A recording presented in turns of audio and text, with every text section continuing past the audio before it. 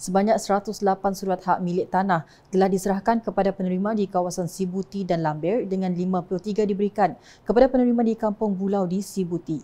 Manakala sebanyak 55 lagi diberikan kepada penerima di Beraya di Lambir.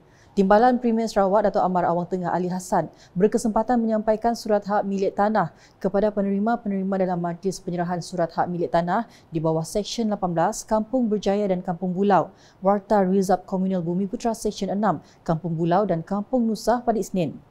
Dalam sidang media, Dato' Amar Awang Tengah berkata Kerajaan Sarawak akan sentiasa membantu rakyat untuk mengiktiraf Tanah Hak Adat Bumi Putra NCR melalui dua peringkat.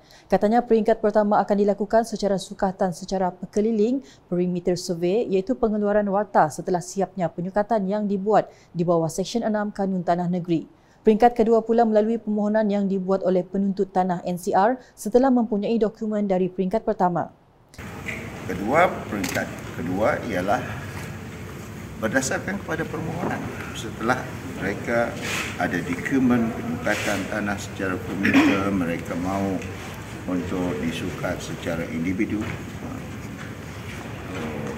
ini kita laksanakan. Itu pun berdasarkan kepada permohonan